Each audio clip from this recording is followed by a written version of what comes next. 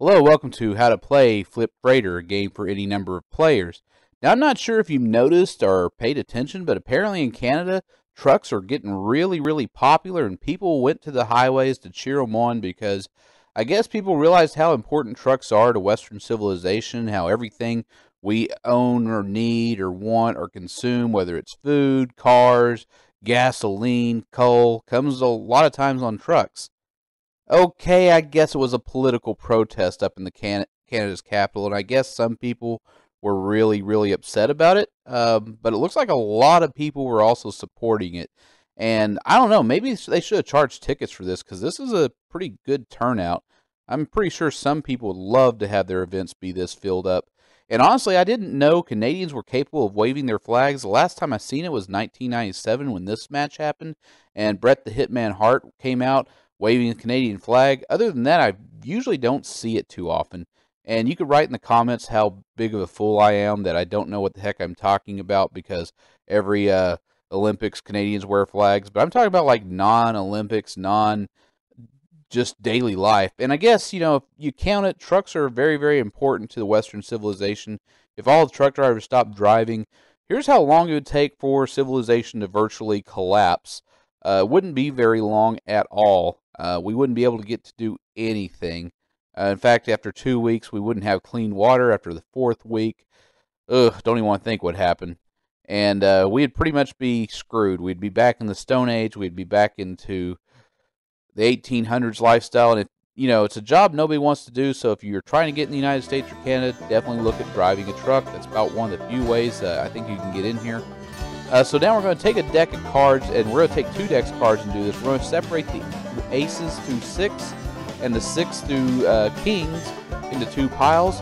The six, uh, seven through kings will be discarded. The ace through six will be used. Now, there's two things you can do on the sheet. You could load, which on this uh, clipboard you have to have each card has to be of the same rank. This one, none of them can be of the same rank. Uh, the 6 through 1, the 6 must be loaded first, uh, and all the way back to the 1. The 1 through 6, the 1 must be loaded first, all the way back to 6. If there's a question mark, it be any rank of cards. And the other thing to do is you have to move these trucks. Now, once you start moving them, you no longer can load them.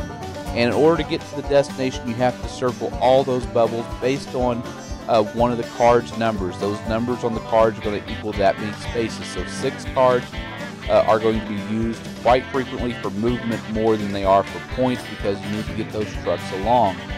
And uh, you're also going to see down there overtime hours, which allow you to plus or minus one rank of a card. If you specifically need that rank, you can use them. You'll lose one point at the end of the game with a maximum of five points lost, so it's probably worth it. Now we're going to deal out 15 cards to three different stacks, and we'll be left over with seven cards that will not be used in the game. We don't know what seven cards those are and uh, so we're just going to discard them. Now, um, that was day one.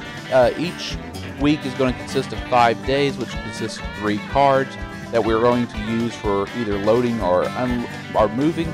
So far, we've been loading trucks. We haven't moved one yet. Well, now we're going to go ahead and move our first truck. We're going to move it six spaces. That completed its destination. It, we score that many points because we have all six containers in the tr- side of the trailer loaded.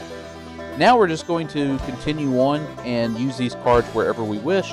This, of course, is now Friday. It's the final day of the week. We're going to use these cards and then score for the week. Um, and so now we write the score of everything that's been delivered. So we got 30 points. Now every time we score for the week, that 30 is going to get us again. So it pays to get as many trucks delivered as quickly as possible. It's going to give you uh, returning points Though if you don't get that many points, it's not going to be as good. So this is my like third time playing this, and I'm under the assumption when a Joker comes up that since the deck of cards consists of ace through six, that a Joker can never be worth more than six. I could be wrong about that. Now this is one of those rules where you might have to house rule it. Um, that's up to you, obviously. I'm not 100% sure. So now we've seen a Joker. How we're going to use the Joker is going to be interesting. Um, looks like we're going to use that 2 there on that uh, 1 through 6 truck.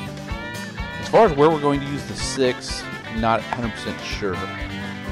Okay, we're going to use it on that truck and continue on. And so we just keep, now we're moving trucks. Now we got to the destination. We only had four, uh, four of the six boxes filled, so we score for the four.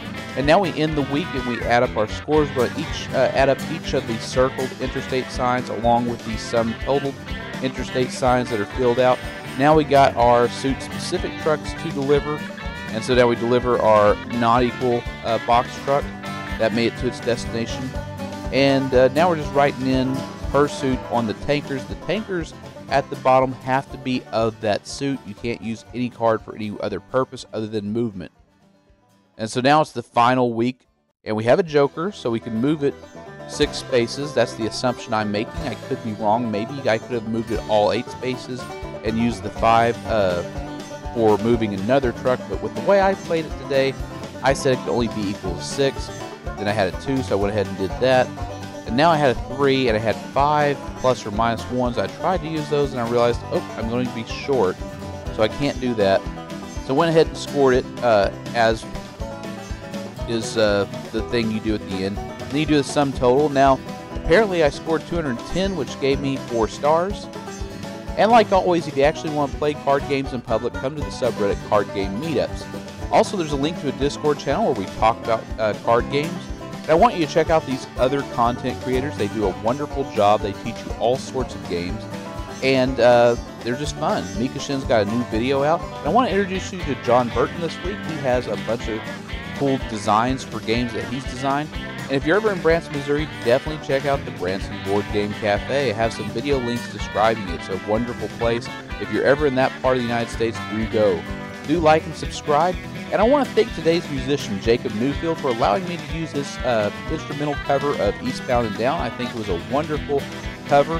And if you made it this far into the video, tell me what your favorite NHL team is in the comments. See you next video.